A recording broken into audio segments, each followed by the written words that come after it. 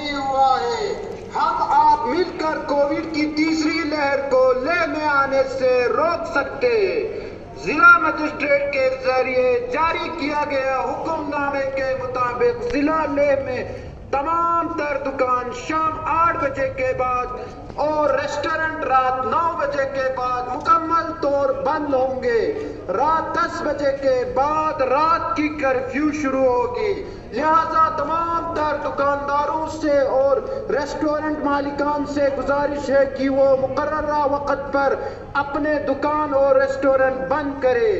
खिलाफ वर्जी करने वालों के खिलाफ सख्त से सख्त कानूनी कार्रवाई की जाएगी। जुले।